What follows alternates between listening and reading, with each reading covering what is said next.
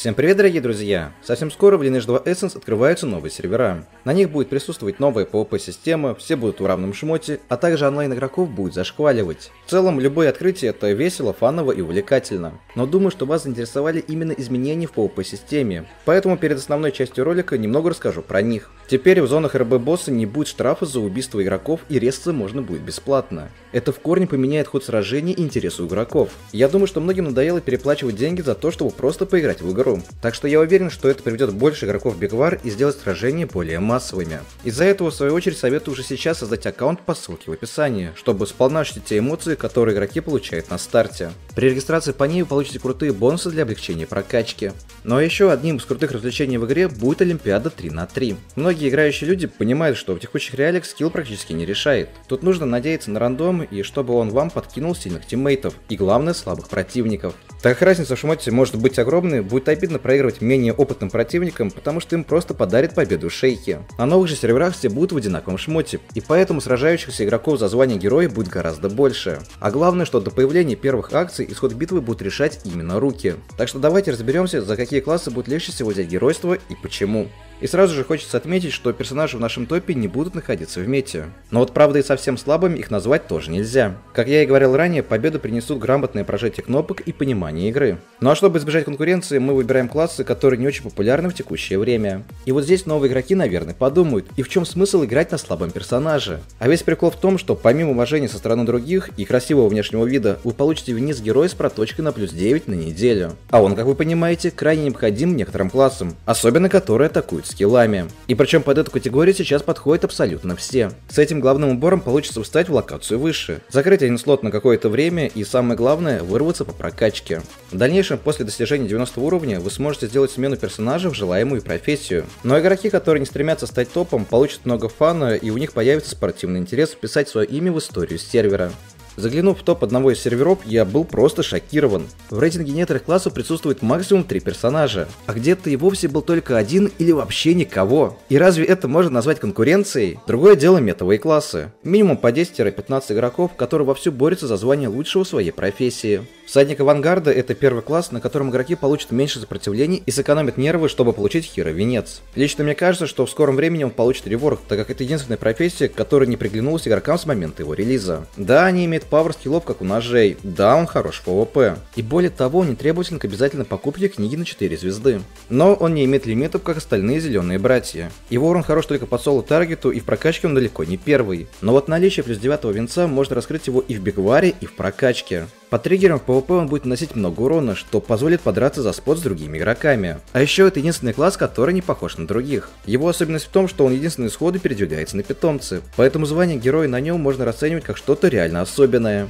Гном Мастер тоже остался без особого внимания среди игроков, да и он тоже не получал реворк уже долгое время. Единственная его фишка это трансформа на 4 звезды, которая, кстати, больше не превращает его в голема, но все так же дает ему большое количество здоровья и повышает ДПС. Из плюсов можно выделить наличие скиллов контроля, что позволит его быть более полезным в сражении. Если на старте новых серверов ведут ивент с книгой на 4 звезды, как это было на Еве, то считайте, что геройство у вас в кармане, особенно если вы играете на крафте. Просто вдумайтесь, пока враги будут сносить ваши 65-80 тысяч хп, вы справитесь даже один с тремя. А представьте, если вы подключите сюда Мелиссу, вы будете просто неубиваемы. Если же ивента не будет, то крафтер и так не популярный класс. И взять геройство, скорее всего, можно будет даже с одной победой. Да если вам даже и выпадет книга на 4 звезды, то скорее всего чего стоит реролиться. Как ни крути, метовый класс книга на 4 звезды будет явно сильнее, нежели герой гном. В общем, если вам приглянулся гном и вы хотите взять хера ради галочки, то почему бы не стартануть именно на крафте? Ведь маленькая конкуренция и полезность класса в небольших сражениях будут только на руку в этом достижении. Глаз судьбы тоже попал в наш ролик, но лично я немного удивлен его здесь увидеть. Хоть персонаж не в мете, но ведь у него много противных умений, которые явно несут импакт на Олимпе. Даже если Варх не нанесет много урона, то может контролить на долгое время. Опять-таки советовал бы его выбирать только если вы хотите взять Хиро Венец, и потом сделать смену класса на 90 плюс уровня, например, в Мага. Тут у вас и снаряжение будет одинаково, и потратиться придется немного и только на скиллы. Я думаю, что это идеальный вариант для любителей колдунов. Владыка Теней в текущей мете тоже совсем не популярный персонаж, и лично мне было бы логичнее увидеть его в реворке вместо коня. Это единственный из призывателей, который не имеет БТМа, и соответственно почти всегда ходит с пустой маной. Тем не менее, основным плюсом суммонеров является передача 55% урона на слугу. А чтобы вы понимали, питомец всегда имеет наибольшие показатели, нежели у хозяина, за счет его бафов.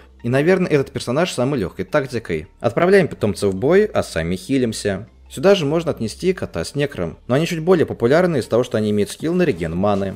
Повелитель Бури это сильнейший класс на версии Legacy, но вот версии Essence и Project Evo на нем почти никто не играет. Маги это одни из интереснейших персонажей в игре. Они помимо красивой анимации имеют еще и большой урон. Но вот выживаемость у СК была всегда самой маленькой среди остальных носителей робы. Но сюда на помощь всем волшебникам приходит щит, поглощающий урон, и который снижает ману вместо здоровья от полученного урона. Но как бы оно то ни было, единственный сильный маг, заточенный под PvP, это магистр магии. А с учетом его высокой популярности и большой PvP активности на сервере, легкое геройство вы получите только на СХ или на Сорке, который, кстати, почти ничем не отличается от Повелителя Бури. А так, считай, на маге поиграл и геройство взял.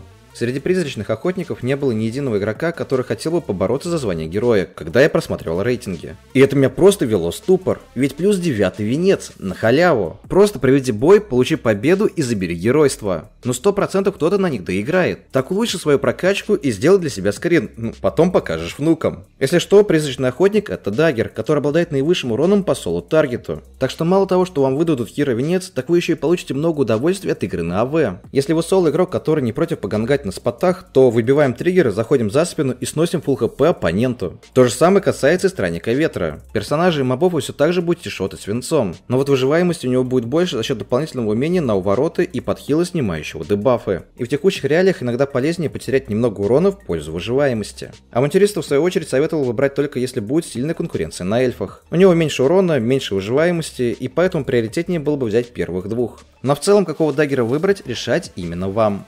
Среди луков Хав приглянулся игрокам меньше всего. И даже несмотря на реворк лучников, он все еще не приоритете на выбор. Но вот только для взятия геройства разве это так важно?